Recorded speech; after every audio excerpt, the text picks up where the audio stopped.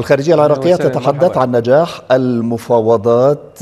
مقابل ذلك نسمع من نائب السكرتير الصحفي الأمريكي سابرينا سينغ تقول بأن عمل اللجنة لا يتضمن الانسحاب والأمر غير مطروح تماما. إعلان الخارجية النجاح. هل تعتقد أن النجاح قد أجل؟ النجاح يتقدم آه، وهذا الوعد الذي وعد به السيد رئيس الوزراء يتنفذ الآن على أرض الواقع.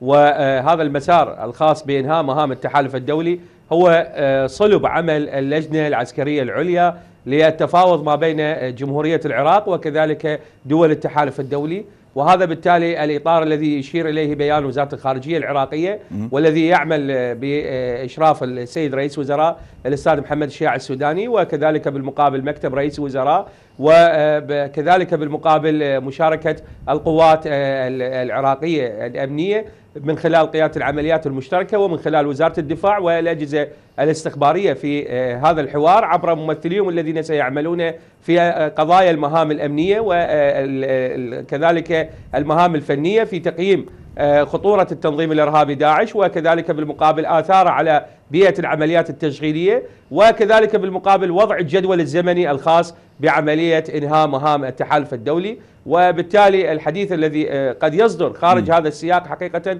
يصدر في إطار آه، تطور المعلومات التي لدى المؤسسات الخاصة بالحكومة الأمريكية. وهذا ما لاحظناه حقيقة بأن وزارة الخارجية الأمريكية وكذلك وزير الدفاع الأمريكي أشاروا بصورة واضحة إلى أن الحوار قد انطلق والذي آه، هذا الحوار قد توقف بسبب أزمة غزة وكان هنالك عمل من قبل الحكومة العراقية والوفد العراقي الذي زار الولايات المتحدة الأمريكية بقيادة السيد وزير الدفاع العراقي وكذلك آه، جاء ردا حقيقة على زيارة وزير الدفاع الأمريكي الذي التقى بالسيد رئيس الوزراء الأستاذ محمد شيع السوداني قبل آه، أشهر. وبالتالي البيان المشترك الذي صدر في آب 8 آه، آب من عام 2023 أشار بصورة واضحة جدا إلى أن الجهود المشتركة تعمل لإنهاء مهام التحالف الدولي والعودة إلى العلاقات الثنائية ما بين العراق والولايات المتحدة الأمريكية من جهة. وأكد السيد رئيس وزراء أننا ماضون كذلك مع كل دول التحالف